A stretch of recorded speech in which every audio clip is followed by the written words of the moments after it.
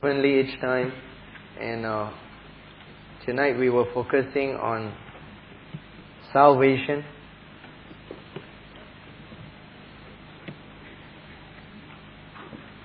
Instead of uh, healing, but we managed to pray for some of you who have different ailments. But every time as we come to God, remember that even as we sit in God's presence, His miracles continue to take place. And as we hear the word and open our hearts to the word, His miracle continue to take place.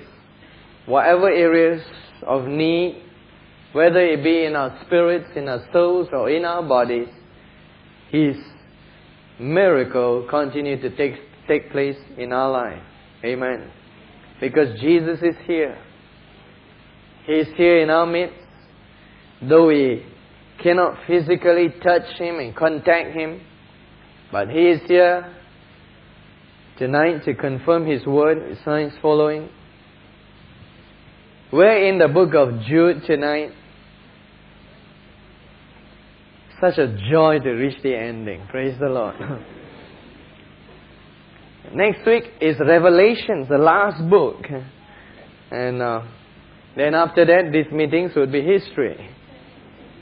We have a last meeting the next week. And incidentally, for those of you who are looking for the family series book, uh, uh, they are already available in the bookstore uh, outside there.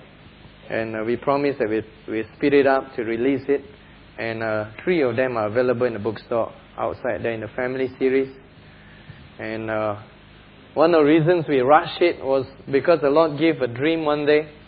And uh, in that dream, He spoke to me to hurry up on that book. I was working on other books. I wanted to uh, finish the other bigger ones. He says, hurry up on this one. And uh, I don't quite fully understand his instructions.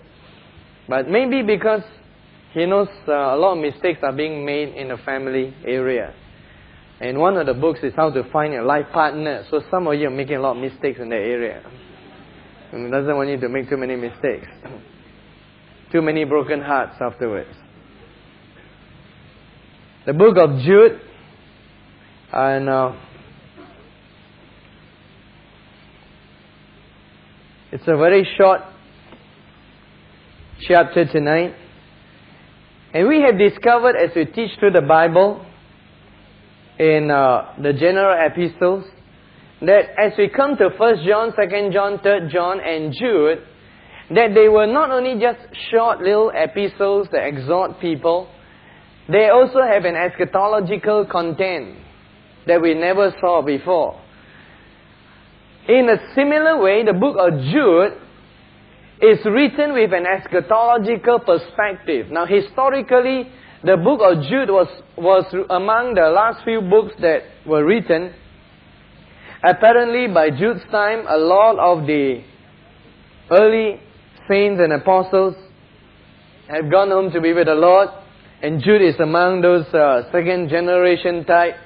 And Jude is the half brother of Jesus and the brother of James the same James who wrote the book of James. And uh, something was happening in the church. A lot of them were not as diligent in doctrine and in their zeal for God as the first generation. In fact, some of them have gone aside to errors and wrong doctrines. And so Jude historically wrote with a purpose to tell them, to encourage them to press on, to hold fast and contend for the faith that was passed on down to their generation.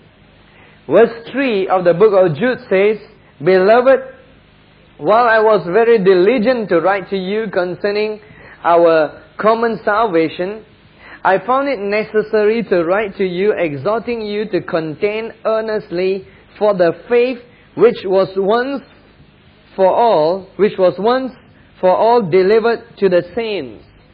So he exhorts them to contend for the faith that has been handed down to their generation.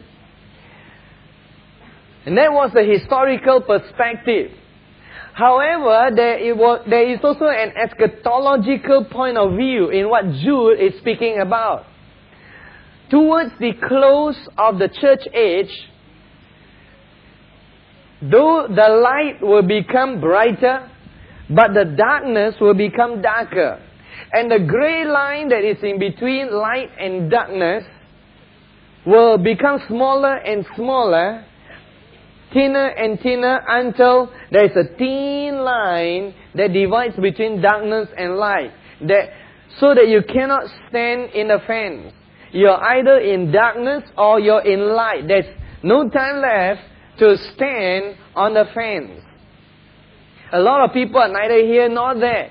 But in the last days, if you're not with God, you're against God.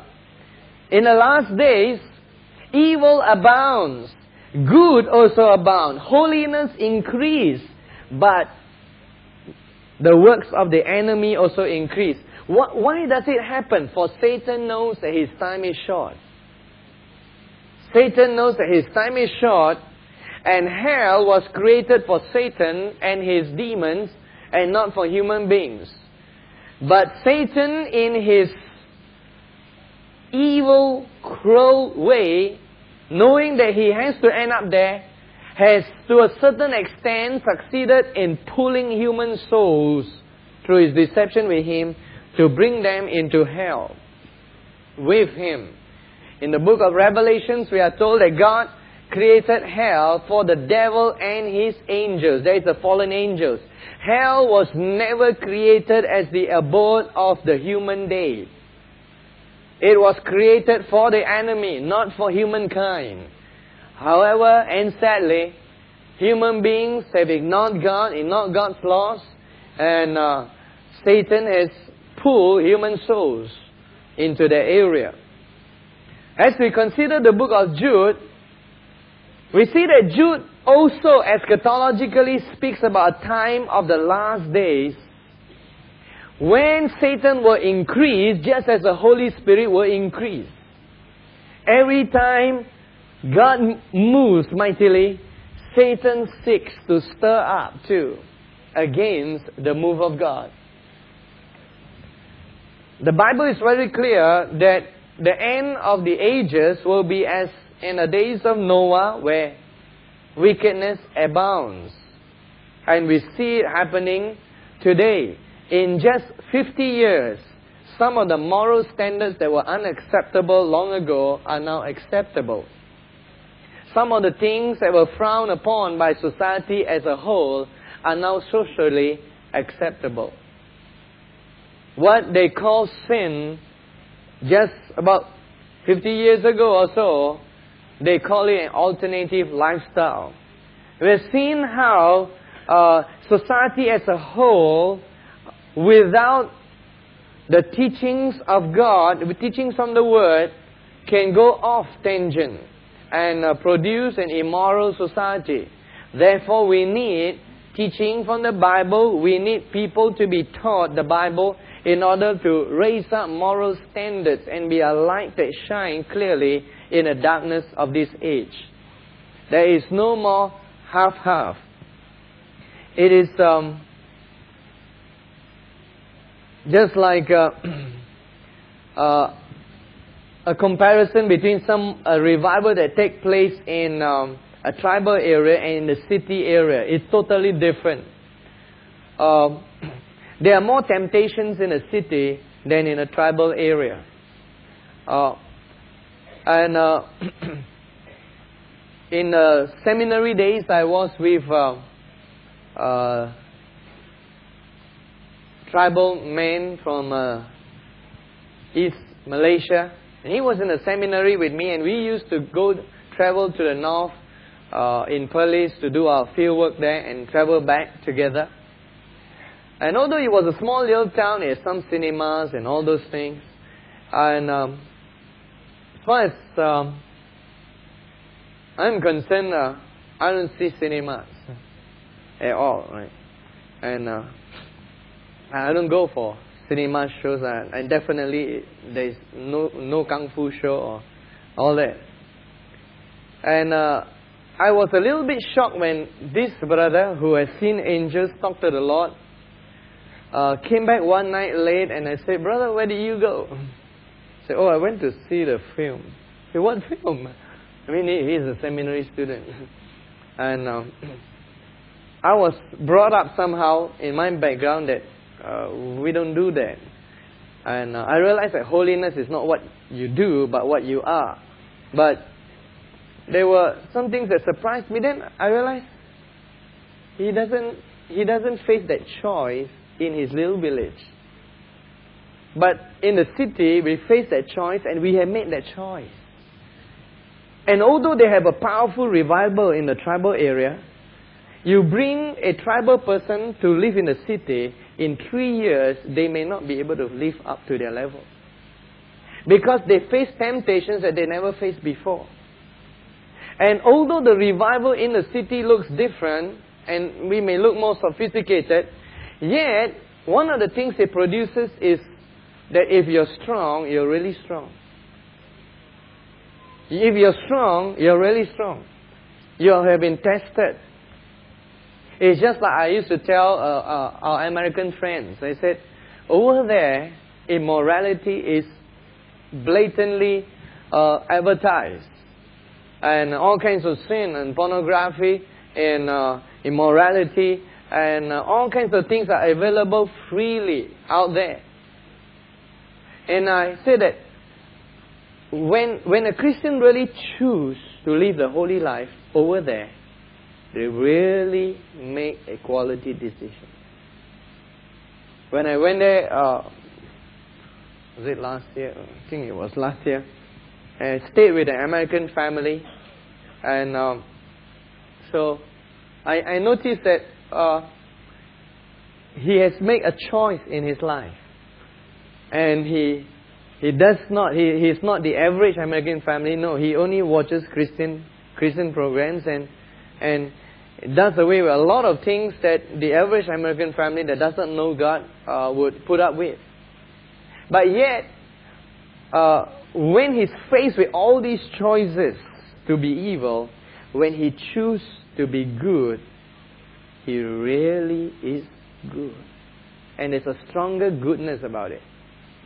And let's put Christians who are in uh, countries like ours where uh, society is, is, is much morally uh, better, better off in that sense, in that we have higher moral standards in our society, uh, in our culture.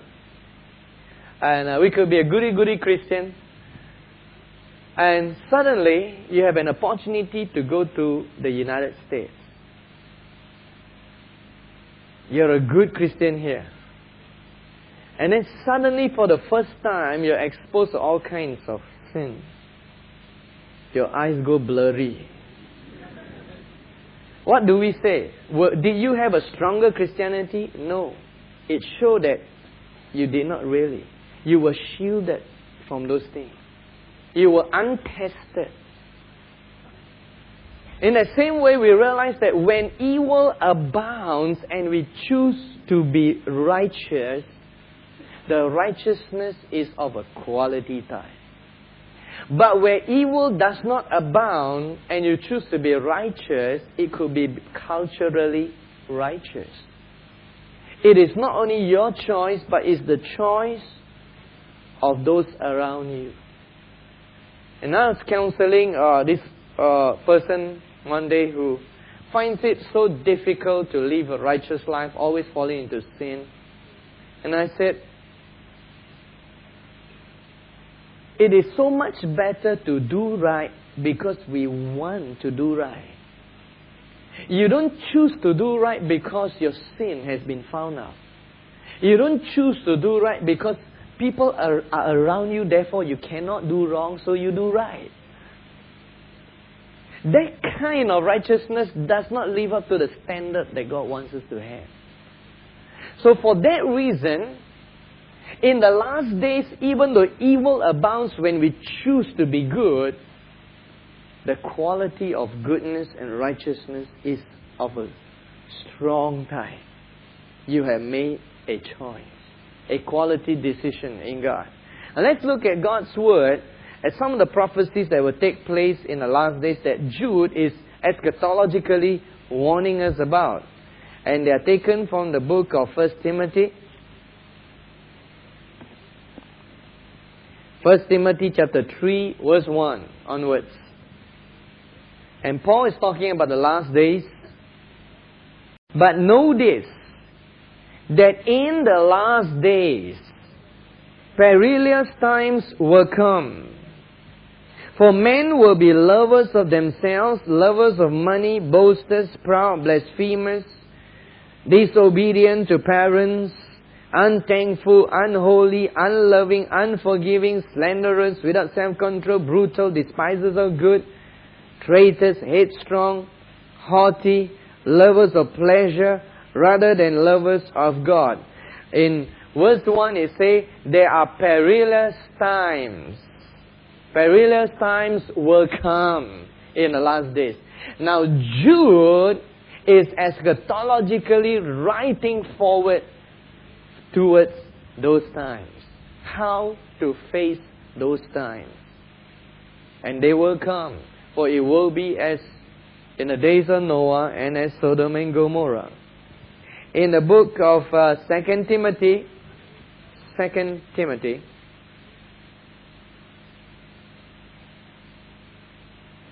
Oh, I just read 2 Timothy chapter 3 verse 1. No wonder. Okay.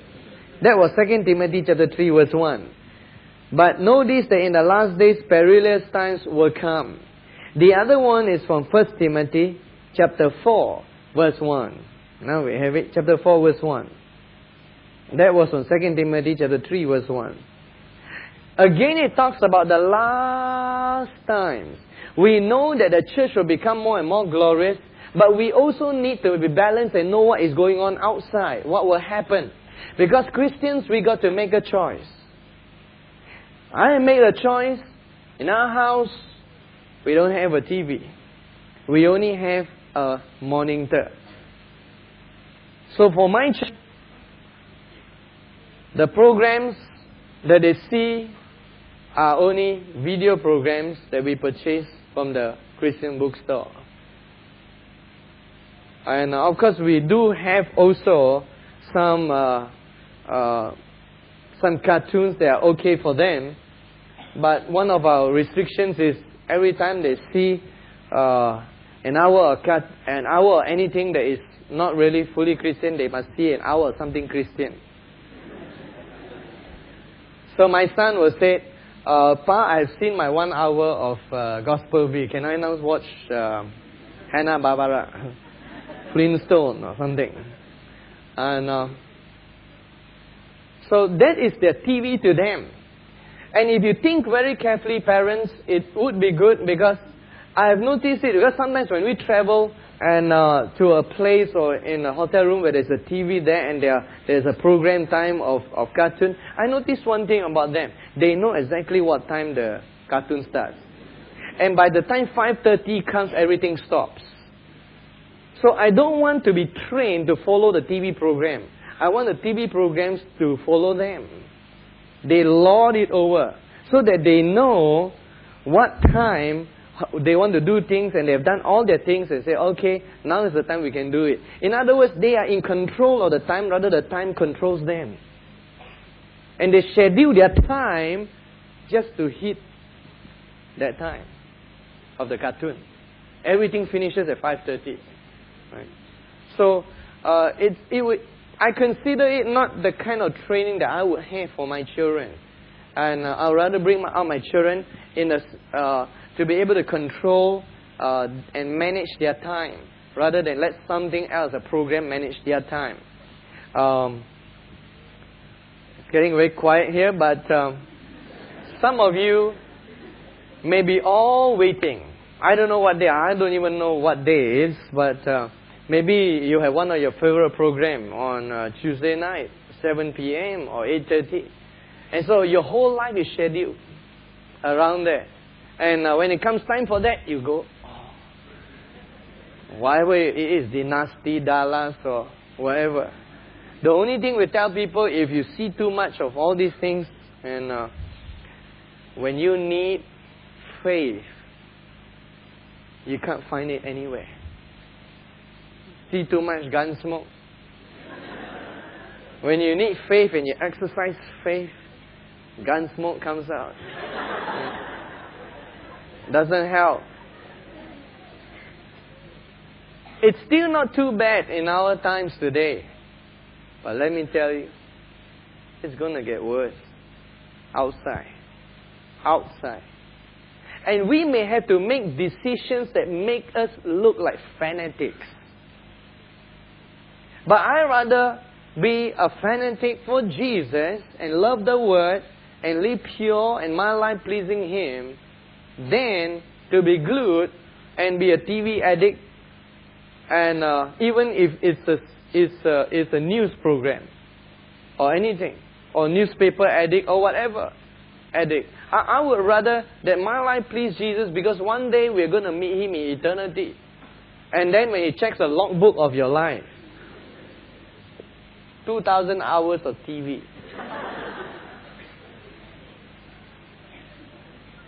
then he checks the section on Bible. B. Bible. 10 hours. Video, Kung Fu. 10,000 hours. Right? So, I, I don't want my life to be like that. Time is so precious.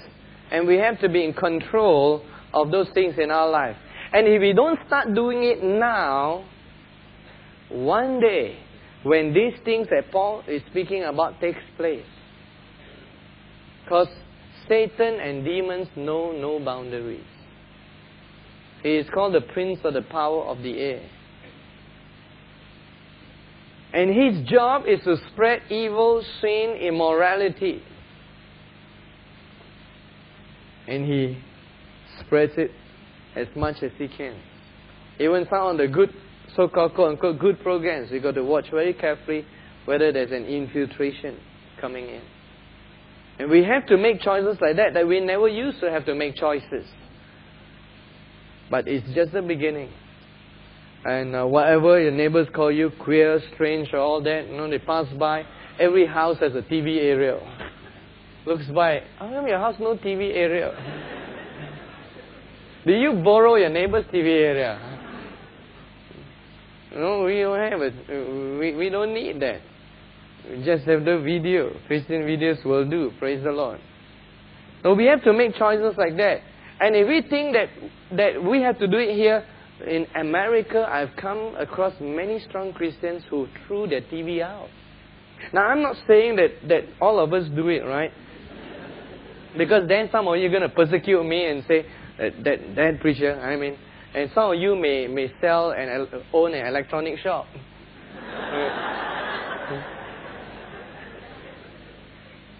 we are not saying that it is sin. The TV is not sin. Long ago, when they invented the TV, one old preacher said, Watch out, that's the devil there. You can even see the horns coming out.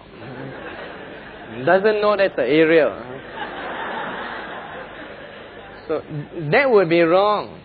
That would be wrong. And I understand that some of you are in business and different line and you need those communication. I don't need it as much as some of you, right? And uh, I, I don't read the papers every day. Once in a while, you know, then we go and get look uh, get get the papers when there's a significant news that we heard that we want some information on, or uh, or something else. But we don't have newspaper coming to our door every day. Why? Because it's a distraction to me. If it's there, you read it. If it's not there, if it's not there, you don't read it. But if it's delivered to the door, there is always an automatic subconscious effort. Say, why do you read it? Because it's there. So don't put it there. So we never order the newspapers, and uh, uh, so in the morning I read my Bible first. I read the good news. Praise the Lord. good news first. Keep the bad news later, right? And uh, and look at it. Some of these are very simple choices, I'm emphasizing a fact here that some of us may have to be prepared that to look very peculiar as society progresses. And you make a choice. Let, just as some of you who, who are rich in God and God has blessed you, you may be multimillionaires, and you choose not to drive a Mercedes, you choose not to drive a BMW. You chose not to drive a Rolls Royce, even though you're rich. All your other rich friends, you know, rich people have rich friends. And all your rich friends will go, ooh, right? And, and while they come in all, all their huge big cars to a rich man's party, you come in your little Toyota or Honda, and everyone look at you. Why try to be like them? A car is a car. And so we realize that there may be some, some Christians that are starting to come out and dare to be different. We dare to be different. We, we don't have to conform to what is standard. We set the standard and, uh, and not just flow along. Remember, the Bible says it's the fashions of the world. They are always there. And uh, we don't have to keep flowing with them and, and, and end up like the world. We are so like the world that we are not like God. God doesn't want one at all. And uh, looking out for the latest fashion. And uh, when the trousers grow big, yours grow big. When trousers grow thin, yours grow thin, right? Why don't you keep your thin trousers and when you grow big, yours is thin, no problem. Later it comes thin, you're back in fashion, right? No problem. So we, we just decide our level that we're going to live and stick with it and uh, make a choice. But the day is coming in chapter 4 verse 1 of 1 Timothy the Spirit expressly says that in the latter times some will depart from the faith, giving heed to deceiving spirits and doctrines of demons, speaking lies and hypocrisy, having their own conscience seared with a hot iron.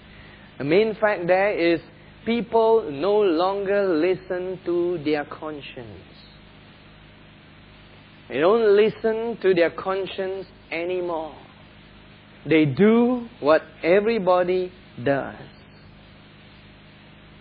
But as Christians, we have a sensitive conscience to God, to what is right and to what is wrong, and we have to dearly follow it.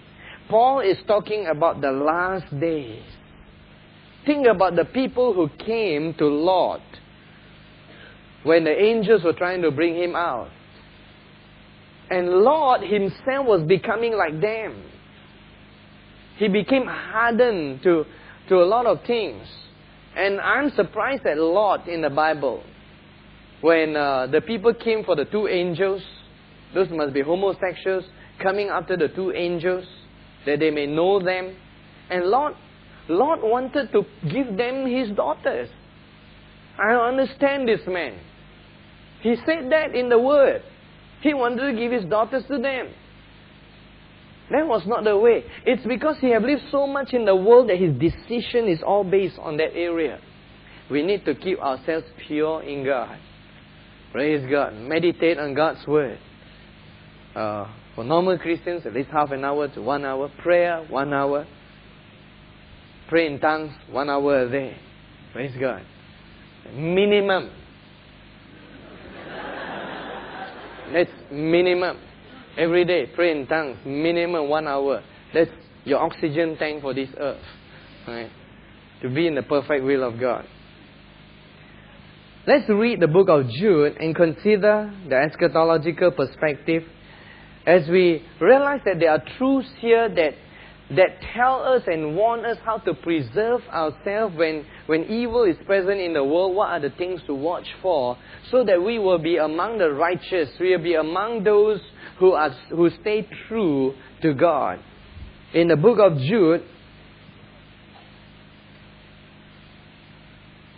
says here in verse 4 For certain men have crept in unnoticed who long ago were marked out for this condemnation Ungodly men who turn the grace of our God into licentiousness and deny the only Lord and our Lord Jesus Christ. Again, there's infiltration into the church, and ungodly men have come in and apostate in verse 5. But I want to remind you Though you once knew this, that the Lord, having saved the people out of the land of Egypt, afterward destroyed those who did not believe.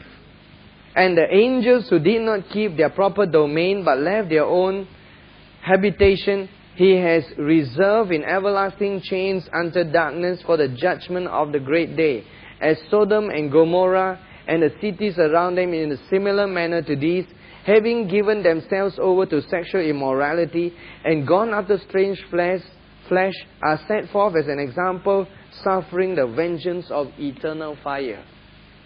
So he talks about, uh, in verse 4, For certain men have crept in unnoticed who long ago were marked out for this condemnation, ungodly men who turn the grace of our God into licentiousness and deny the only Lord and our Lord Jesus Christ. Again, there's infiltration into the church, and ungodly men have come in and apostates in verse 5. But I want to remind you, though you once knew this, that the Lord, having saved the people out of the land of Egypt afterward, destroyed those who did not believe.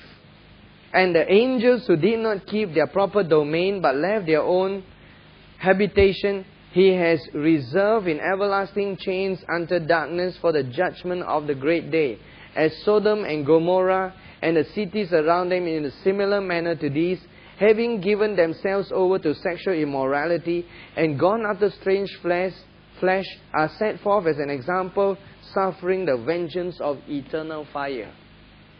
So he talks about uh, the angels that we saw in in uh, First and Second Peter how they are locked in chains of darkness, those that have left their first estate and uh, gone away from God. He talks about things that, that are terrible in the last days.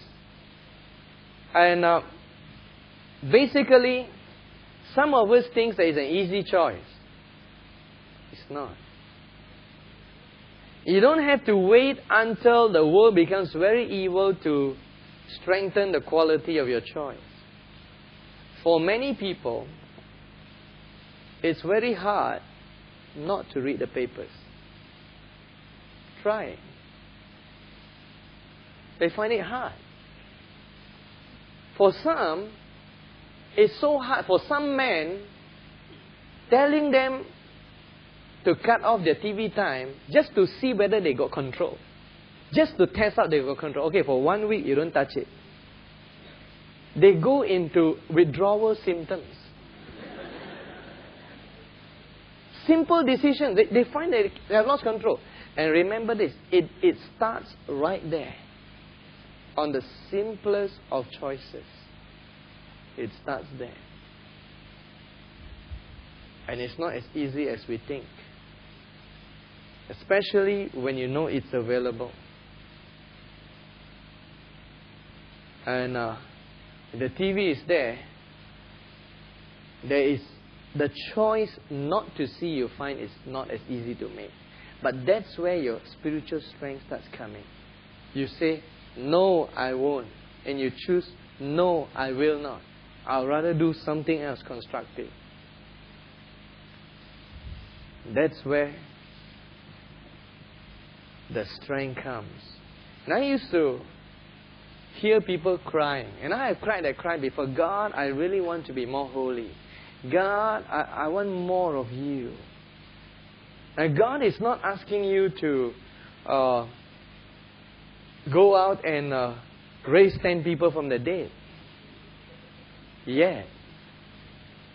He just said, Well, if you want to, can you stop seeing 7 o'clock news? Oh, no, we can't, Lord. I mean, he's not asking you to go and raise 10 people from the dead. All he asks is, son, every morning you must read the paper before you talk to me. Can you stop that and talk to me first? Oh no, I can't, Lord. The battle is over the smallest thing. Not over raising the dead yet. And if we cannot fight the newspaper and win, how can we fight the spirit of death? But Praise God, there are more and more Christians that are different. Dare to be different. Morning get up, oh And uh, that's that's what they do, just praying in tongues and and they're different and they dare to dare to be different. And I realize that when you succeed in the small, small little areas, God begins to come into your life in a deep way. It's not the really big, huge things that make Him come. It's the small little things that He asks of you. And very the strange thing is, is the small things that are difficult to give up. It's the small things. Small is too small for us, we think. But to God, this is where the difference between quality and normal is. If we want a quality Christian life, do away with those things. Do away with those things. It's not easy. I remember when uh, uh, was meditating on the Word for 8 to 10 hours every day in the early ministry life. For one year, I didn't read anything but the Word of God. It was not easy. It was not easy. It is just like fasting. Looks easy. But wait till you walk by the food store. It's not easy. And every time you fast, people invite you for feast. That's when all the birthdays and all those uh, things take place. And then you have to make your choice. Try going on a vegetable fast. Three days, I tell you, you'll long for chicken rice. it looks easy, but it's not as easy as we think. And you realize, hey, my bo- your body is not tame yet. No wonder God cannot work. Start there in the small, small areas. Don't try to be a big hero, you know, raise 20 people from the dead. Right? Just conquer those areas in your life. And that's where the difference is. Now let's talk on some interesting occurrences here so that we could explain. There is an area here in verse 9 that we need to explain. Yet Michael the archangel, in contending with the devil when he disputed about the body of Jesus, dare not bring against him a reviling accusation, but said, The Lord rebuke you. That is the, the Satan. Understand what happens in the overall panorama of uh, of the gospel. Ever since Adam and Eve fell into sin, every man who died goes into a place called Hades. And he waits until Jesus Christ come to this earth. So everyone who dies, both good and bad, goes into a place called Hades. That is before Jesus Christ died on the cross. And Luke chapter 16 describes Hades is divided into two sections. In Luke chapter 16. We have to see the overall picture before we see the specific picture. Luke chapter 16, in verse 23. And being in torment in Hades, he lifted up his eyes and saw Abraham far off and Lazarus in his bosom. Then he cried out and said, Father Abraham, have mercy on me and, and, and send Lazarus that he may dip the tip of his finger in water and cool my tongue, for I am tormented in this flame. But Abraham said, Son, remember that in your lifetime you received the good things and likewise your good things and likewise Lazarus evil things, but now he is comforted and you're tormented. And besides all this between us and you there is a great gulf fixed, so that those who want to pass from here to there cannot, nor can those from there pass to us. So there they are, in uh, Hades, and this is before Jesus died on the cross. And the description is regarding all those people from the time of Adam and Eve right up to Jesus Christ coming. All of them went to Hades. Both Abraham and the saints, and the evil. And Hades was divided into two sections. Hades is not hell yet. Hades is a waiting point. Now, it, it has similarities to hell, but it's not the lake of fire yet. It's different. The lake of fire only comes in the book of Revelation after judgment. This is before judgment. Hades is more like an imprisonment point or place for spirits of the dead. And it's a prison. But inside, it's divided into two sections. One section called Abraham's bosom, the other section where it's all those uh, who did not follow God. And between them is a chasm that cannot be crossed. And that was a condition that existed in during the time uh, of the Old Testament, throughout the Old Testament. You read about Samuel, uh, how Saul, uh, through that woman, tried to call Samuel up. And um, somehow Samuel manifested and it says he came out from beneath the earth. So Hades is located right in the center of the earth. You also find references to it when Jesus said, As Jonah was three days and three nights in the belly of the whale, so shall the Son of Man be three days and three nights in the belly of the earth. Implication in the center of the earth. And look at the cross reference of 1 Samuel. In 1 Samuel, in the incident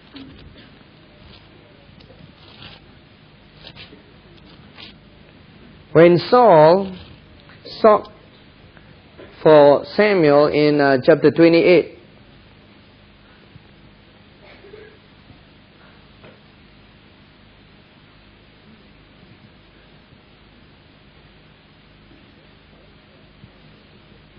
verse uh, 13 and 14.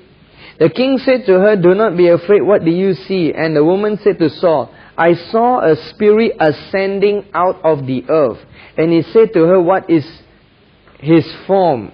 And he said, An old man is coming up and is covered with a mantle. And, and Saul perceived that it was Samuel. So Samuel and uh, all the others were waiting inside the good part of Hades called Abraham's bosom, and then he was there, waiting, waiting for the coming of Jesus Christ. There were two parts of Hades, good part and the bad part. And it is found, and physically, if you want to locate it, it's located in the center of the earth. It may be uh, strange to us, but that is the most logical place because the earth is round, and if it's inside the earth, it's the only place possible. Unless the earth is flat, then it's somewhere else. but we all know the earth is round. And in, in case you did not know uh, that the Bible said the earth is round, it's found in Isaiah chapter 40, he who sits on the circle of the earth. And I don't know why, about a thousand odd years ago, Christi- Christianity uh, itself thought that the earth also was flat. Somebody just didn't read their Bible.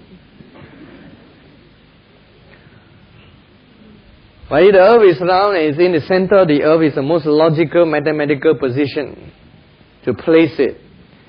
And um, everybody was waiting for the coming of the Messiah. The Old Testament folks were saved based on their faith in looking forward to Jesus in the sacrificial lamb that they looked for and all the ordinances of the Old Testament, the lamb that they put their faith in represent the Lamb of God, Jesus Christ who is coming. So they were saved by looking forward. We are saved by looking back at what Jesus has done. The focal point in history is Jesus Christ on the cross. Something happened when Jesus died. Now, Hades was there, all steady. One good side, one bad side. When Jesus died on the cross, he descended into the lower parts of the earth. His spirit and soul, that is. His body was left up here. He descended into the lower parts of the earth. and then he ascended again. But let's look at his descent. In Ephesians chapter 4, I'll give you scriptures for all these things that we put it we put the whole panorama together. In Ephesians chapter 4, verse 9, now this he ascended, what does it mean? But that he also first first descended into the lower parts of the earth. So Jesus descended into the lower parts of the earth. And when Jesus descended to the lower parts of the earth, we know that down there he conquered death. Something took place. He conquered death. When he died and descended, there was a physical side effect. In the book of Matthew, chapter 27, Matthew chapter 27.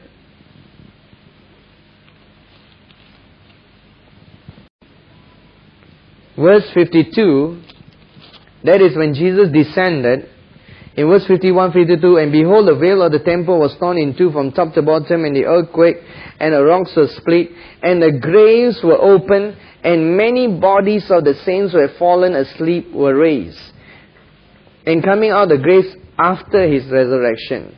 So, before his resurrection, what took place was a mighty earthquake when Jesus descended into the earth. Shoom. And all the, the graves were opened. Shoom. And it was like that for three days and three nights. When Jesus rose from the dead, he released all the captives because they were kept by death. Hades, who has he took the keys of hell and death. The word hell is the word Hades in Hades. And uh, he took all those keys and then he released all those captives. By captives, he's talking about all those saints of God who were kept in, in a place because there was no Savior yet who has come. And so having come, he took all of them, and they are known as the cap- captive. In uh, Ephesians chapter 4, we continue the story. Ephesians chapter 4, verse 8. When he ascended on high, he led captivity captive and gave gifts to men. So when Jesus Christ arose, he resurrected all those people who died right up to the time of the cross.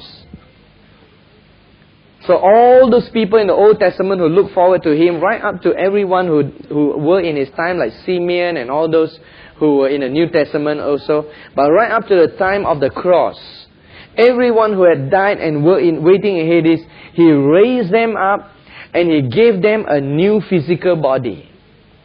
They were all physically resurrected, spirit, soul, and body. Matthew chapter 27. The next verse after verse uh, 52 is verse 53. And coming out of the graves after his resurrection, they went into the holy city and appeared to many. Now we realize in verse 52, and many bodies of the saints that had fallen asleep were raised up. And that's called the first resurrection in 1 Corinthians chapter 15. Let's look at 1 Corinthians chapter 15. Verse 20.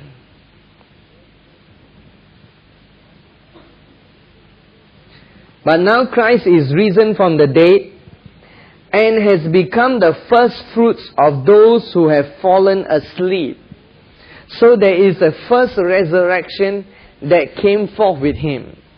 All those people who died right up to the time of Christ, when they were raised up, they were raised up bodily. They received a new spiritual body like Jesus. And they all went on. And some of them fought by the earth for a moment, but they went on into glory, and they are right now in heaven. So suddenly Hades, half of Hades or part of Hades uh, was finished off. And all that remained in the place called Hades is only the abode of the dead waiting for the judgment. There is no more Abraham's bosom down there after Jesus Christ rose from the dead. When he ascended on high, he took them all back to heaven and it's in heaven where He has mansions and paradise and all those things that God has created for us up there. Anyone who dies today physically in the Lord, who believes in Jesus, their bodies die down here, but their spirits and soul go up to be with the Lord. We no longer go down. In the Old Testament period, is divided before Christ's resurrection and after Christ's resurrection. Before Christ's resurrection, you go down. After Christ's resurrection, because Hades has changed, now all the saints are up there, you go up to be with Him in heaven. The only difference is that all those who died after Christ's first resurrection, after Christ's resurrection, they do not have their physical bodies yet. We wait until the second coming of Jesus. When Jesus Christ comes, then we will have our new physical bodies. But we still go up with our spirits and with our souls to heaven. And there the saints are there. The first batch of resurrected saints are also there. And uh, in the book of Philippians, let's look at the book of Philippians.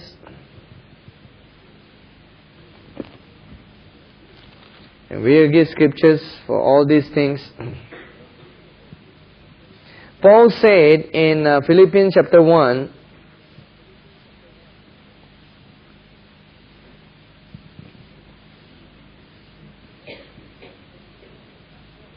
verse 23, For I am hard pressed between the two, having a desire to depart and be with Christ, which is far better. Nevertheless, to remain in the flesh is more needful for you. Paul talks about whether he wants to choose to live or to die. And Paul says that to, to, to die and to go home to be with Jesus is better, but yet to remain is needed, needful. And uh, so he, he gives us a clue here. He says that when he dies, he will automatically go to be with Jesus. And where is Jesus today? At the right hand of God. And we know that in the book of Acts, that when Stephen was about to die, he saw Jesus standing at the right hand of God, all ready to receive him. So these are proofs that in the New Testament, after Jesus Christ has been raised from the dead, anyone who dies goes home to be with Jesus. That is the panoramic order. So in heaven you could tell the New Testament saints are in a sense uh, incompleted yet waiting for the second coming of Jesus for their bodies. Whereas the Old Testament they have completed their dispensation. That's the full story that we have. Now, this is what we call the normal order. And that is what God ordained. You see, no one could be released from the dead until Jesus Christ came. In the Old Testament, there are three people who were different. One was Enoch, he never died. Death could not touch him. He walked so close with God that his just body was just transformed and he went up. He never saw Hades. The other person who did not die is Elijah. He never saw death. God sent a fiery chariot. He got into the chariot and he went up. Death never touched him. Third person that we see in Jude, Jude gives us a little bit more story, was Moses. However, the Bible tells us in the book of Exodus, the last chapter 34, uh, Deuter- Deuteronomy, chapter 34, in verse 7 that Moses died. Moses was 120 years old when he died. And when he died, the note here mentions his eyes were perfect. They were not dim, nor was his natural vigor abated. That is a good example for us. That is a testimony of Deuteronomy 28. The full promise fulfilled in Moses. So Moses died. God buried him. When he dies, see, when a person dies, when we see a person physically die, it is more than natural body uh, uh, discontinue in its function. But their spirit and soul go on. The spirit and soul never dies. It is in a different state of existence. So the spirit and soul of Moses goes into Hades because this is Old Testament time. Jesus didn't come yet. So Moses joined all the saints. All the saints were there. Noah was there, and all the rest of them were there. Abraham was there. And then God did a strange thing. God said, We're giving you the whole picture of the story of Jude. God said to Michael, Michael, I want you to bring Moses up here. For some reason, Moses had been close enough to God to warrant his entrance into God. So Michael, the angel, goes down from God's throne. Shoom. And guess where he has to collect Moses? From Hades. He goes down while everyone is waiting for that flight 888. The jet plane is Jesus Christ. Everyone is waiting for Jesus Christ. Michael comes out and says, Moses, there is a special flight for you. God sent his personal flight for you. And takes Moses' spirit and soul out of Hades and came by to collect Moses' body. He's going to physically raise Moses. Which is what Jude says. Jude is not talking about his spirit and soul alone, he's talking about his body. He comes to collect the body of Moses. And as he came to resurrect the body of Jesus, Satan came and make a fast. Satan will be screaming there, not fair, not fair, not fair. And he'll be on strike, you know, with all his placards. Not fair, this is not fair. God didn't play fair, etc., etc. So he protests. Satan could understand that Enoch, Eli- Enoch was there, Elijah didn't exist yet, but he could understand Enoch was there because he didn't get to touch Enoch at all. The spirit of death didn't get to get to contact Enoch. Enoch just went up. But death has contacted Moses. And Satan was saying it's not fair. Why did he say it was not fair? Because this is not the normal way. Now we understand why Satan was creating a fast. And Michael just said, Oh, shut up. And or rather, the Bible says in the book of Jude, now this is where the story is in Jude. See, we give you the whole background of the story. So you understand what they were doing there. In Jude, verse 9, Michael says, The Lord rebuke you. What Satan didn't realize was Moses tapped on some laws that could justify, we know how God is just, that justify his early exit out of Hades and early resurrection. What were some of those laws?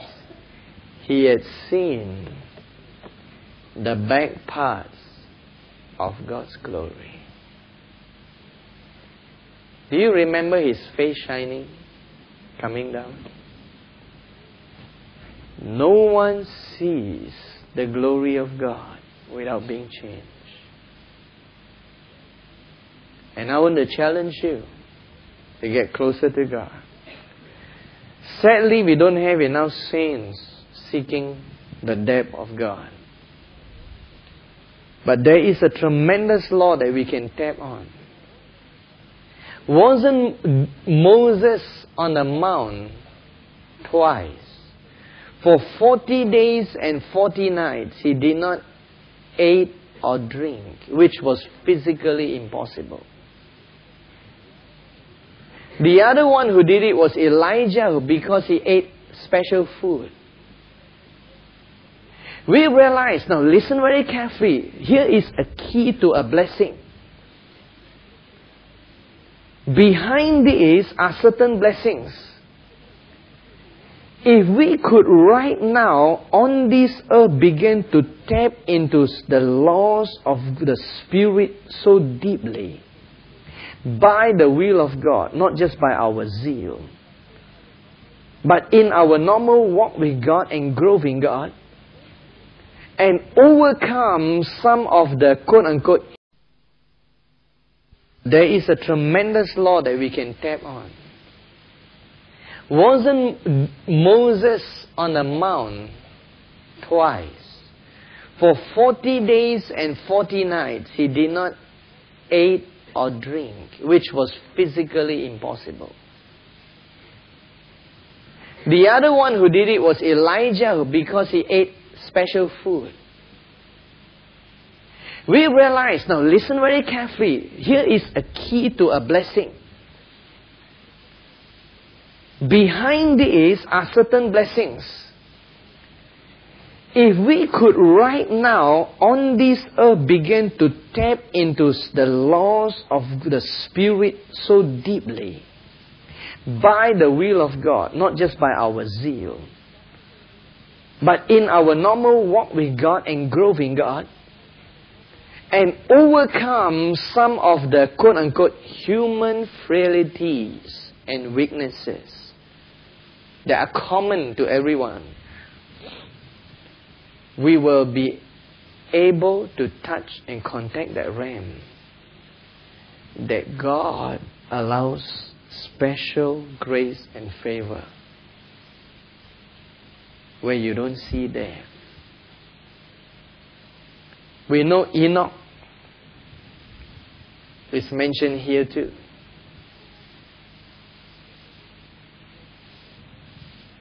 And there are people like that. There is a possibility that in our generation, we may be able to raise up a generation that will spend so much time with God that by virtue of the laws of the Spirit, they contact a realm of God so deep that natural laws are temporarily suspended. That they could enter into a certain depth of God. Now here we are talking about the, the last days, alright? You remember we talking about how in the last days the wicked will become more wicked and the righteous will become more righteous and holy. Now what are some of those things? We see here that behind the story of Moses here, in verse 9, is not only a story about Michael rebuking Satan, but behind that story is the story of the man Moses, whom God raised up physically before his time. God could have used Elijah or Enoch. But He knows that many of us cannot reach the closeness like Enoch, Elijah. They take real special grace to reach that point. But Moses is a greater possibility for many people.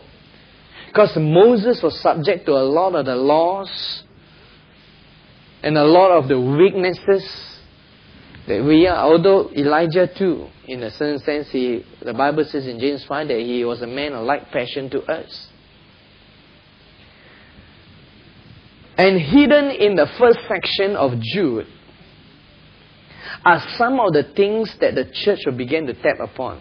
You see, what I believe is The rapture is an instantaneous transformation that takes place in the church. Shoom. But one thing I also know, it takes faith and the presence of God. When Jesus Christ ascended into glory on high, it is said that the, the clouds surrounded him. The clouds that surrounded him is not H2O. Water vapor. You can just go to Genting Highlands and you see the water vapor around you, but you're not floating yet. It's not the mist around you. It's the glory of God around you. And it was the glory of God that carried him up. And the church, I could imagine it. You see, usually there is always an extreme uh, uh, uh, middle balance uh, and then the other slow one. There's always a, a fast, and a medium, and a slow. When the whole body of Christ is moving to perfection, you always have to have some leaders right at the front who have to spend perhaps 10 times as much time with God as the average Christian. I mean, it takes that. The average, uh, the average Christian spends 15 minutes. We got a little bit, no? devotion time. Or take up the devotional book. In our church, we don't recommend devotional books because it's a lazy man's method. You do that only for lunch tidbits. That's only lunch tidbits. No? That is just potato chips. That's not real lunch. It's alright, right? I'm not against those things. It's nice reading, nice reading. But it takes too fast to read, especially when people like me who read fast. Oh, finish already. My devotion for the day. Now, what's on for July 6th? Okay. That's for baby Christians. We recommend for church people go straight to God's Word and read. So we never recommend any devotional reading. We, we, we get them straight to read the Word. And the average Christians is here, right? Let's say they spend 15 minutes, a little bit. Then the stronger Christians, stronger Christians, which are looked upon by the average Christians as fanatics. They spend one hour a day and they take one hour to be minimum. So one hour pray in tongues. And uh, I don't embarrass anybody, but I, I would dare say that if I say how many here really pray one hour in tongues a day, right, we may not find the whole group here. Now, if that's the way the church is going, how can we be perfected?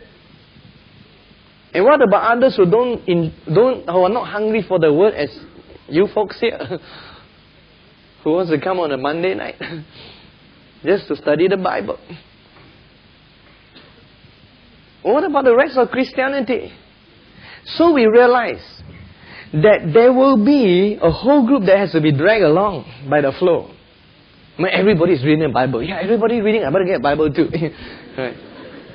And everybody is praying in tongues. Hey, I better pray too. right? We, we drag them along. So there's a there's a there's there's a, a strong group. There is a nominal group. And to drag the whole group along, you got to have a few strong horses. Just like the geese when they fly. You know, they always fly in a V shape. Because the first uh, goose that flies, duck or goose, that flies, the first one that is right in the center of the V takes the greatest uh, air pressure. And uh, once it breaks the air current, those the air current is broken in this V form. The other ducks go to the easy path and they find it easier to fly. So he has to fly many times faster. and the other ducks on the other V go. easier. And the ducks behind them even easier. Right? But the poor chap in front. It's not, not as easy. And uh, the ducks or the geese change place once in a while. Because it's a lot of energy. So, so the main ones would change place with him. He goes back to rest. But that's something of what we realize that it takes a lot of faith, it takes a lot of word, it takes a lot of prayer to perfect the church. We all should be praying for the perfection of the entire church in the body of Christ. We need the ducks right in the front. Because there are too many of them who are just. Some of us are. Oh, we are starting already. We are starting to fly. But at first, all you have is that fellow. And while he's trying to create an air current, all the ducks will say, that crazy duck. or the rest of the duck don't know that winter is coming. It's time to fly on. And the ducks creating the air current, all of us, that crazy duck. But after a while, a few ducks join in and say, and then you're the one who's crazy to lag behind. Winter is coming. Darkness is coming. And so we got to join the dark there. And as the church grows to perfection, there are some ducks that are right in the front line to get the others in. Now, what happens before the church comes? This is what I believe. Those in the front line will walk so close with God that they may suddenly disappear first. because they walk so close. Remember, it takes faith to be raptured up in a sense. Now, please don't get worried. Some say, hey, I'm not sure I got enough faith to rapture. so tomorrow, some of you are going to join a weight losing class. You're wondering whether your extra 40 pounds is going to pull you down to hell or what. No. Thank God the rapture is not based on weight. we better thank God. Right? Otherwise, the teen people has an advantage. The rapture needs faith. Everything God does needs faith. How do you think Enoch got translated? In the book of Hebrews 11, it is by faith. The faith of the entire church will carry the weakest, so there's no worry. It is what I call a cosmic event. And when it's a cosmic event, everyone who is born again will be taken. None will be left behind. Everyone is, even the youngest and the weakest. But it's based on a corporate faith that is there. And we will see those in the front line beginning to go off into God. And uh, in, in the research book on uh, Smith Wigglesworth uh, that we had from the town library in, the, in New Zealand, the, one of the, uh, it's out of print today, but I had a photocopy. And uh, it speaks about Smith Wigglesworth, what he was in New Zealand, and when he was praying for, for souls. And he walked so close to God, and uh, when he begins praying for souls, he enters into a presence that, that nobody can stand. And this is the record in that book. He said that he, this author, the one who wrote that about the revival in uh, Wellington, when, you, when Wigglesworth was there, said that he had heard that Wigglesworth pray, especially in the area of souls. Nobody could be in the same room with him. So when he heard that there was going to be another such prayer meeting, he purposely wanted to join. And he joined that prayer meeting. And so he said, everyone pray. And then when Wigglesworth started praying for souls, when he get into the heart of God, and this is the exact description. Maybe I can bring it down next and read that portion to you. But it says, that when he began to pray and cry and weep his heart out, suddenly the room was filled with the presence of God. And the more he prayed, he says, and this is the record of the book, people started leaving the room according to this to their spiritual level. Those who are lowest, who cannot stand the presence of God, started weeping, crying, started going out, cannot stand that presence. People started living according to their spiritual level. Finally, when almost all of them have left, and the author says, I was hanging on. he says, tears were flowing out of my eyes like water, he says. And I was holding on. And as he was praying, the presence got thicker and thicker. And he says he, he was almost choked by that presence. And in the end, when he, he, he could stand it no longer, he quickly ran out. He felt that if he didn't run out, he would die in God's presence. And he ran out and uh, almost all broken down. And he says, the man of God was left alone with God. He lived in a presence which nobody else could live. Wow. I like to be like that. Those are samples. You see, one Wigglesworth can stir so many ministers. And we realize that there are others like Sadhu Sundar Singh in Asia too. And uh, that they could stir us. Those are the ducks that fly very fast.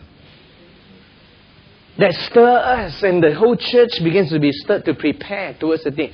God is not just going to perfect the church just like that. He's going to call men and women, anoint them to stir the church. And they're going to be the front runners to stir up the church of God. And uh, so, behind this first uh, part of Jude are some of those promises that we see here. And uh,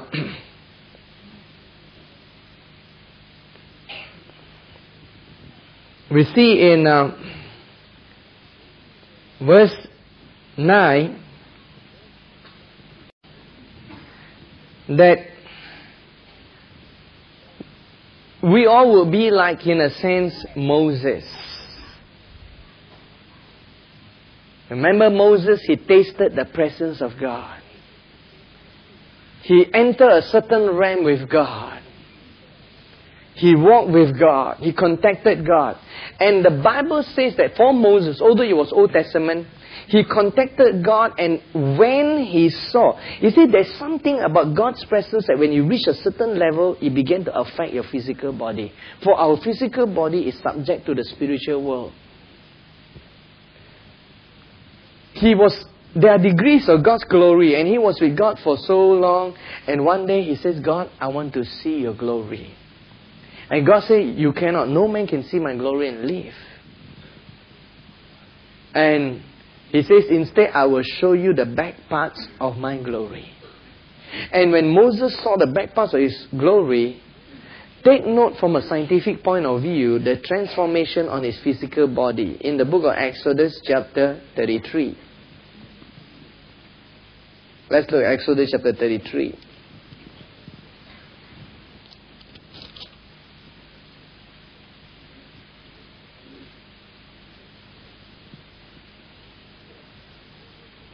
Verse 18. Moses says, Please show me your glory. And so God showed him his glory in uh, chapter 34, in uh, verse 5, 6, and 7. And when God showed his glory and Moses came down, in verse 29, now it was so when Moses came down from Mount Sinai and the two tablets of testimony were in Moses' hand, when he came down from the mountain, that Moses did not know that, and look at which part of his face, the skin of his face shone. We are not talking just about his spirit and his soul. His physical skin cells became phosphorescent. There was light coming out from it. Something happened to the atoms and the molecules that made up his skin cells. Some sort of energy had gone into it. And we see a type of the church in Moses where, we be, where, where the glory of God will be seen on His people. That's the prophecy in Isaiah that we saw the last week. And people will see the glory of God on you. I believe that there will be something taking place because the rapture is a physical rapture, not a spiritual one. Our bodies will be physically raptured, not just our spirit and soul. So something will start taking place by the power of the Spirit in the church. We see in Jude the positive parts of those things that will take place. And uh, the interesting thing in verse 9 is that Satan is there to oppose. Just as Satan opposed the resurrection of Moses, the church will see things like the glory of God upon them, and uh, then when it comes close to the rapture, Satan himself will try to oppose. There will be satanic opposition. Now you, we understand why Satan comes against the church and why he's trying to pull the church into sin.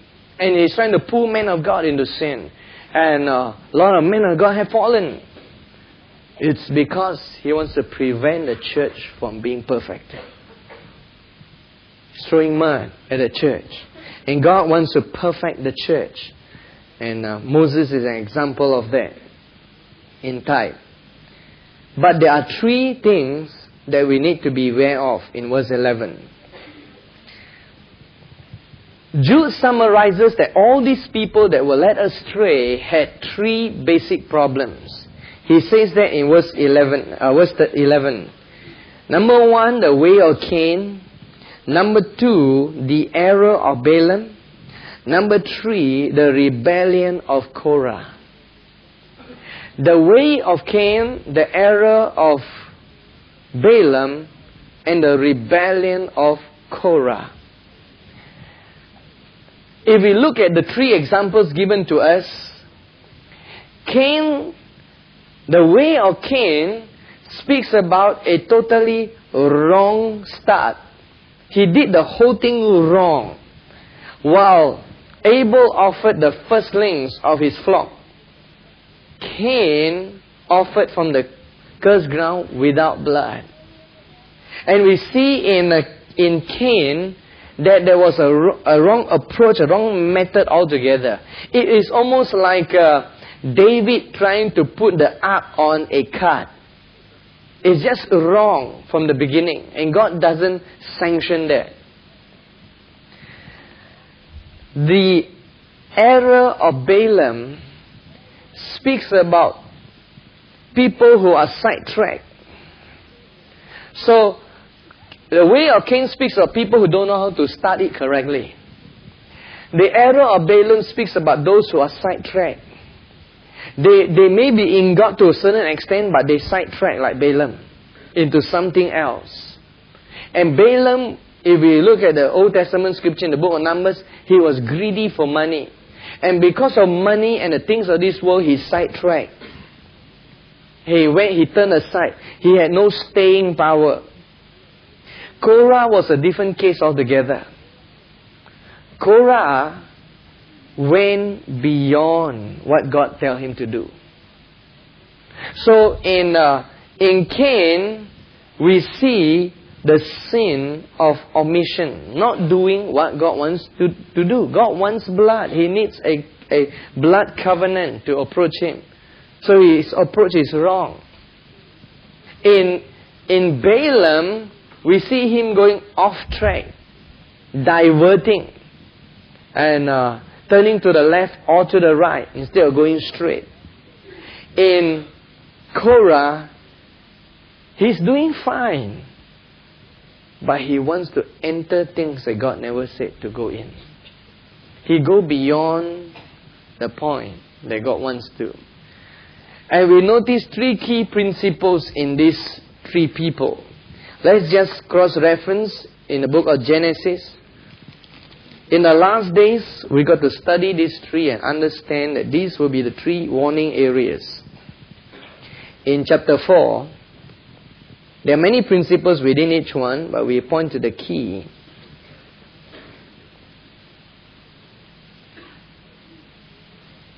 Verse 2 Abel was a keeper of the sheep, and Cain was a tiller of the ground.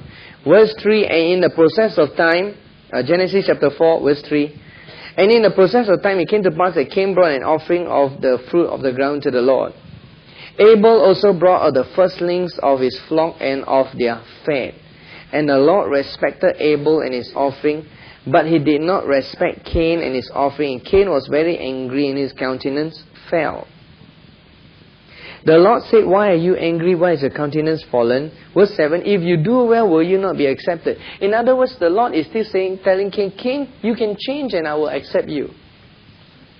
But Cain just refuses to change. Notice three things.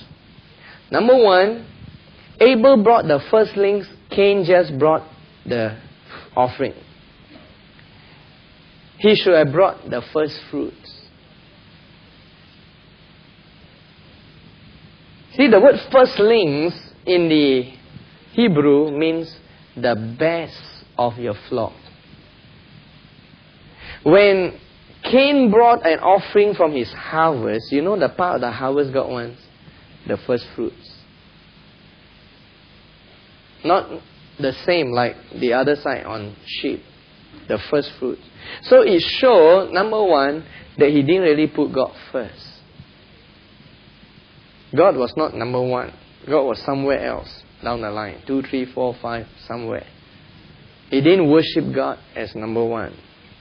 God was part of his life, but not the main part. And that's where many Christians are going to fall in the last days. We reach a point where if God is not number one, you will fall to temptation. Secondly, there was an absence of blood. Do not forget that the ground is cursed. God said it in Genesis 3. Cursed is the ground for your sake. Of course, in a sense, you can say everything was cursed because the cattle eat the ground, everything. But there was a difference. Abel had shed blood. So, too, is a necessity of blood. And blood shedding speaks about a covenant relationship with God. That's important. People of God, we need a covenant relationship with God.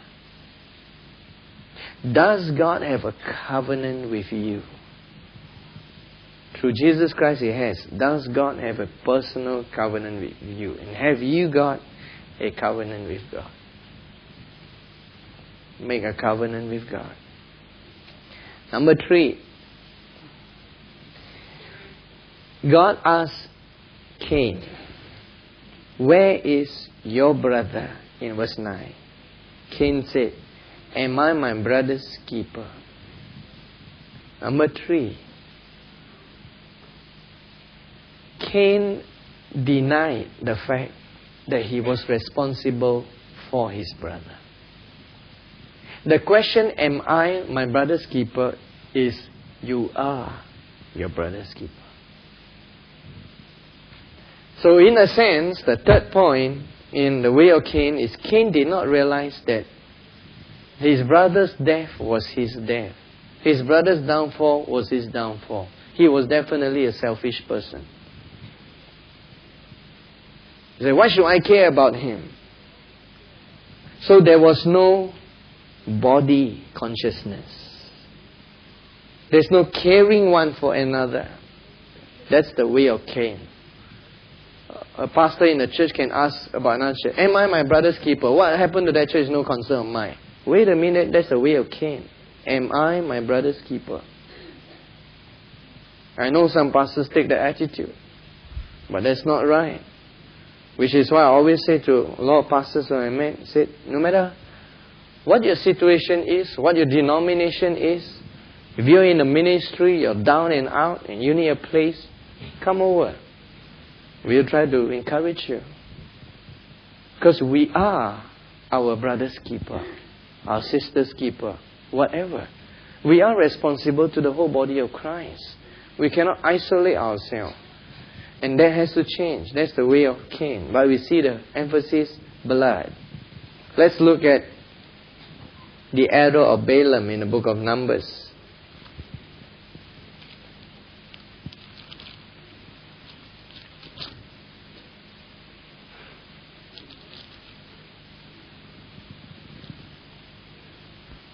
Numbers chapter 22.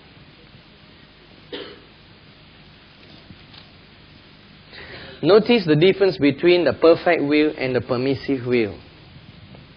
Okay, now God speaks to Balaam his perfect will. And uh, in verse 12, Numbers chapter 22, verse 12, when the people came, the Balak came to ba- send people to Balaam to curse the Israelites. God said his perfect will to Balaam in verse 12. God said, You shall not go with them. And that is his perfect will. Now look, here is his permissive will because Balaam was persistent in going. And uh, in verse 34 35, Balaam said to the angel of the Lord, I have seen, for I did not know you stood in the way against me. Now therefore, if it displeases you, I will turn back. But he already gone all the way, almost there. In verse 35, the angel the Lord said to Balaam, Go with the man, but only the word that I speak to you, that you shall speak. That is permissive will. You compare the two verses, one said don't go, the other says go. Because God never wanted him to go. But if he, he persisted in going, there was a permissible will. First mistake of Balaam. He didn't differentiate between the perfect will and the permissive will. Can be dangerous. There are some things that are God's will, they are perfect. There are some things that are permitted by God. Every church and every minister needs to differentiate between God's perfect will and God's permissible, permissive will. Because under permissive will, there is still some blessing. First mistake of Balaam. He didn't differentiate between the perfect will and the permissive will. Can be dangerous. There are some things that are God's will, they are perfect. There are some things that are permitted by God. Every church and every minister needs to differentiate between God's perfect will and God's permissible, permissive will. Because under permissive will, there's still some blessing there, but that's not the kind of blessing God wants you to enter. Secondly, we see in um,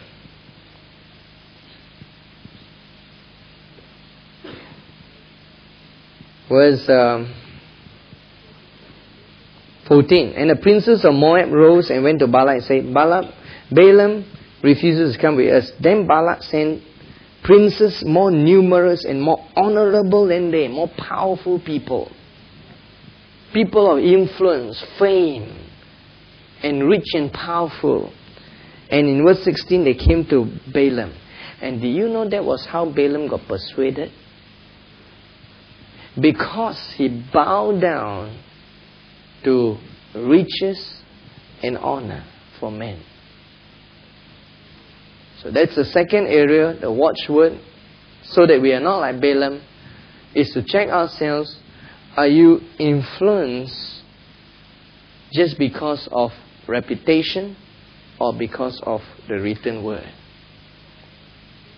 Because in the last days, he can be reputable man. And that is why I always tell Christians, we don't follow a man of God only because he's famous either. We follow and check out what is said by the written word. So that if a man of God who is famous says the baptism in the Spirit is not necessary with tongues, and we say, yeah, yeah, that's the way to follow, because he's famous. But if you check the word, you know that there's strong evidence that tongues is for all. We are going to lose out. We are people who bow down to honor for men rather than following the word. And we, a church will never be perfected. So we have to honor the word of God above all else. Thirdly, in Balaam's life, chapter 23, verse 1, Balaam said to Balak, Build seven altars for me here and prepare for me here seven bulls and seven rams. And he did everything And uh, in verse 4 and 5, the Lord, verse 5, put a word in Balaam's mouth. And three times that occur.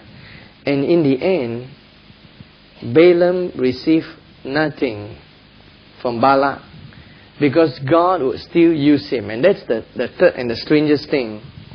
That even though God was still using Balaam, one of the most beautiful prophecies came from his mouth about Israel. But do you notice what he did? He taught Balak how to deceive and make the Israelites fall. It was Balaam who did it. Balak wouldn't wouldn't know how to do it. And that's the third problem with Balaam. He wanted the money so much that he would compromise his principles. Where principles are compromised. Well, let's run on to Korah. He is in the book of Numbers, chapter 16.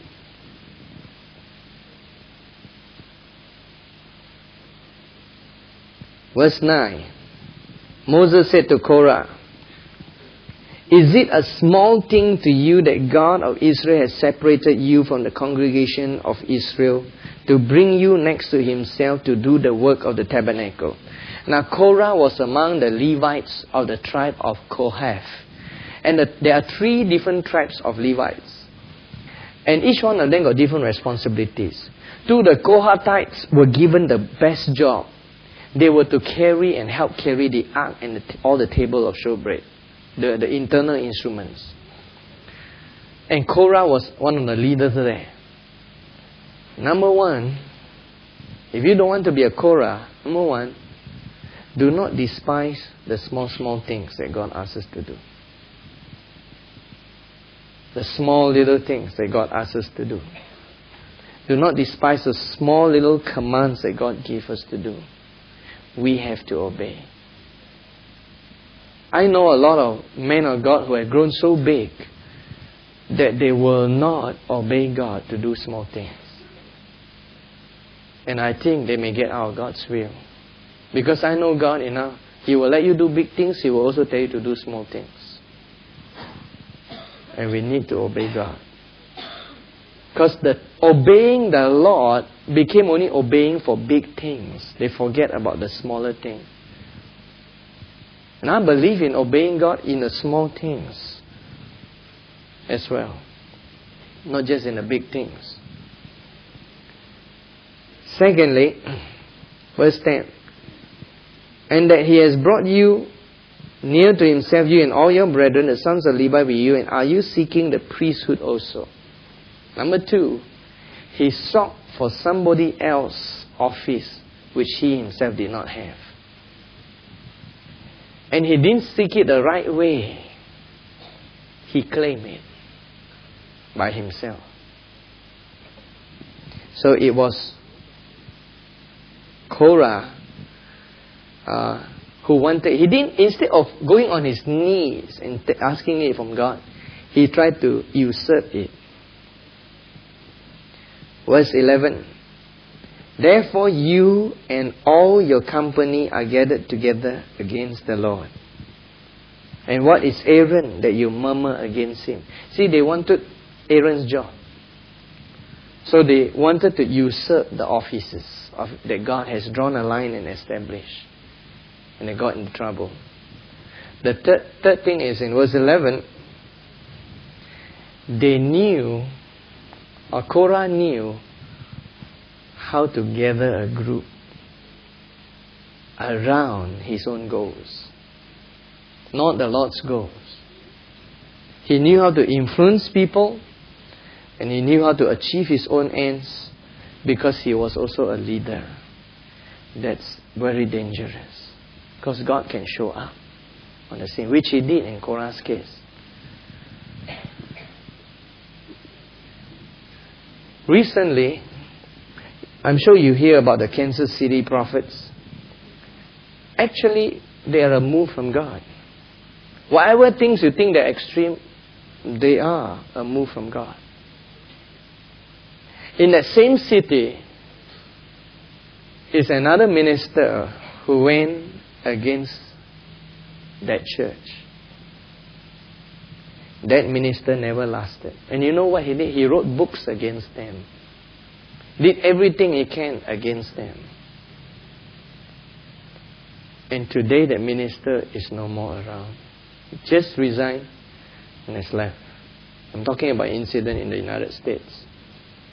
The whole city, those are the two biggest churches, the whole city was divided because that man was against the prophetic move. Now I know in every move they're extreme, but it doesn't mean I'm going to go against any move of God. Why should I write book against people? Why not write books to teach people? And listen carefully, because I know what the Lord's going to do.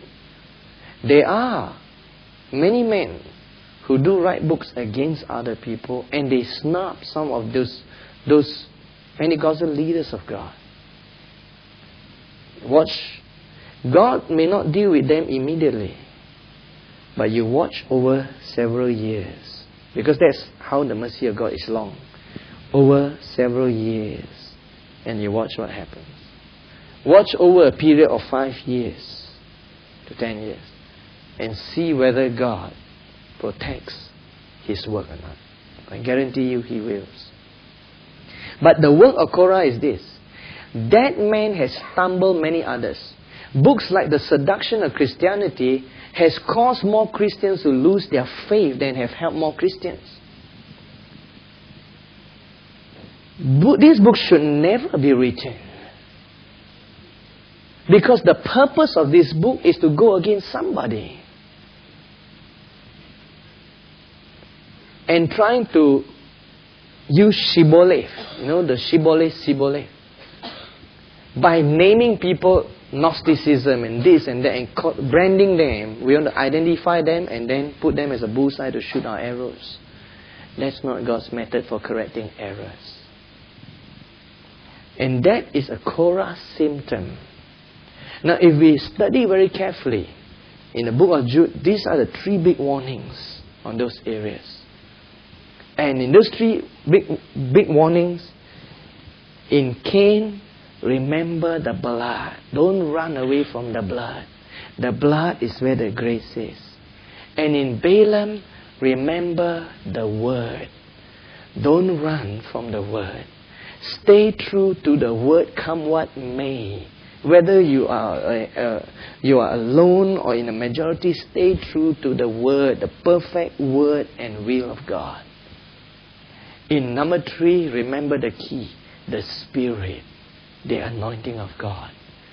When I see an anointing flowing and a man winning souls and etc., why should I go against a man if he has a few things that are not perfect? Amen? There's no purpose. I mean, there are some people who wrote books against Cho Yong-gi, but that man has won more souls than those authors.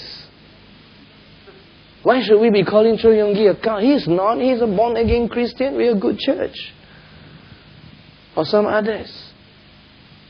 Remember, the Spirit, those people are winning souls through their anointing.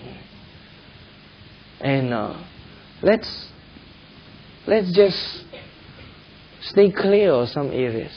Now, I may not agree with everything, but I would say that's a man of God still. See, I'm not advocating the other extreme either of total submission without questioning. That is also wrong. I'm not saying that we don't think through some of those things. Like for example, Cho Yong-gi has a book on the fourth dimension, and on in that book he talks about Rhema and Logos. And he compared Rhema and Logos to people walking on water. And he says that, uh, and then he turns it to healing. But I analyze it from the word, and it's not really that. Because walking in walking on water is not a promise, healing is a promise. Can you see my analysis? Now I still respect that man. But it doesn't mean that I swallow everything. I still compare it to the Word of God. In no way can you compare walking on water with healing. God did not say, In my name they shall walk on water. But He did say, In my name they shall lay hands on the sick and they shall be healed. And there are countless other scriptures that promise healing. So you see, my analysis is based purely on the word. But I still respect that man. Still love that man. My analysis of Rhema and Logos, and I teach on what Rhema is, what Logos is, and explain differently, but we still got lots to learn from that man. Rather than join the other camp that start running against these people. Because that is the Korah spirit. It's important for us to take note. These are the things. And as we see these things coming in the last days in the church, we need to stay true to the things of God and stand forth in them. Well, let's go to the rest of the scriptures to close. Praise the Lord. Okay, Lord. And uh, in verse 14, there's Enoch, the seventh from Adam, prophesied about this man also saying, Behold, the Lord came, comes with ten thousands of his saints to execute judgment. And uh, the other man to watch in the last days is Enoch. All those things that are relevant for the church to understand about the rapture are found in the life of Enoch. You could analyze his life from the time he walked with God after the birth of his child. And if you take that to be an allegory, the birth of his child is a symbol of an, an, a completion of something and moving on into the things of God. And uh, you tie it to scriptures like Isaiah about the woman laboring in birth. And uh, all those things, you find a type of the rapture church in Enoch. Okay, that's a key for you to dig deeper into God's Word. And he concludes from verse uh, 20 onwards with the same HO exhortation that we cannot run away. Number one, build on our faith. Number two, praying in the Holy Spirit. Number three, verse 22, keep in the love of God.